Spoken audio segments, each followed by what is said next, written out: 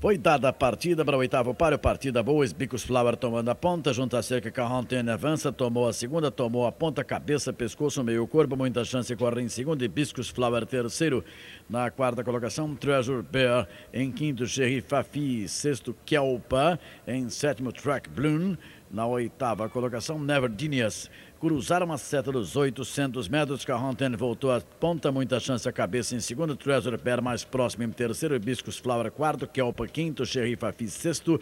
Cruzando 600 metros finais. Carronten tem a ponta, muita chance. Botou do lado, estão emparelhadas cabeça a cabeça. Kelpa tomou a terceira. Hibiscus Flower em quarto.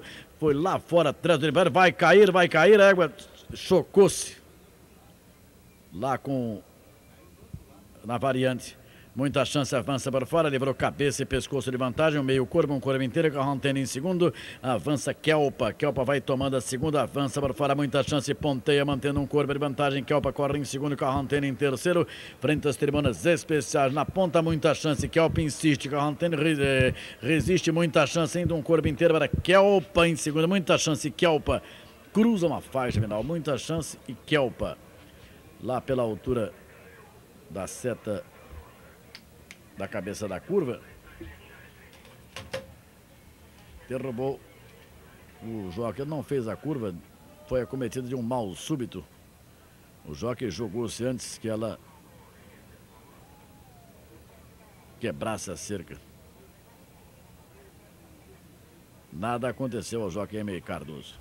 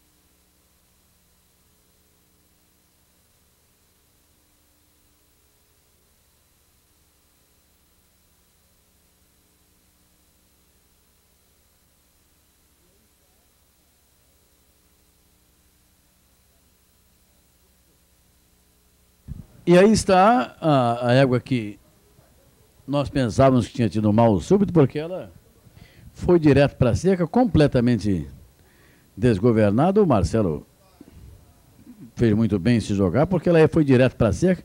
A impressão que nós tínhamos é que ela tivesse, tivesse sido acometida de um mal súbito, tivesse perdido a, a visão e ficou completamente sem noção de onde estava e arrebentou-se na seca, mas levantou-se, está aí. Nós vamos procurar saber de maiores informações. Nada aconteceu com o Joaquim Cardoso. Está aí a Treasure Pair. Está sendo examinada pelo, pelo veterinário. Graças a Deus está em pé a Eguinha e o, o Joaquim. Nós vamos procurar entrevistá-lo. A vencedora do par está o placar, a ordem de chegada, 3 e meia dúzia. Photoshop terceiro.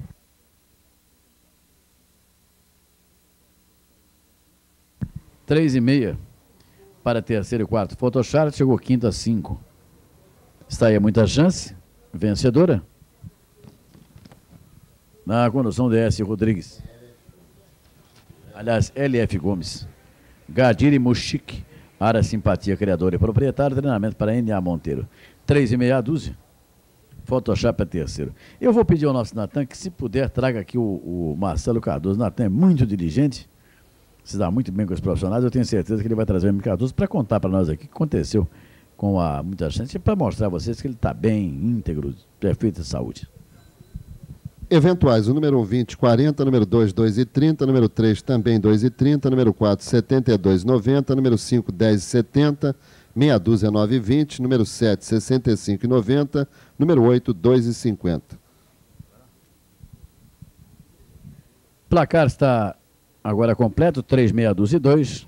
Em quarto quadro, em quinto, 5, 3, meia dúzia e 2.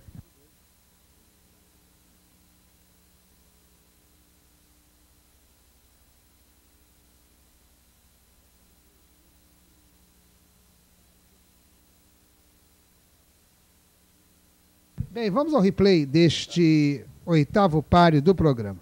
Muita chance, era uma égua bastante superior à turma. Acumulada que demos no início das transmissões, vencemos, venceram os três animais. Muita chance, fechou. Vai fácil atrás de Bela lá por fora, aparentemente. Depois ela não fez a curva, foi lá fora. O Micador saltou antes, né? Quarentena e muita chance, as duas primeiras. E a Treasure vai aparecendo ali na quarta colocação. Passou agora para terceiro.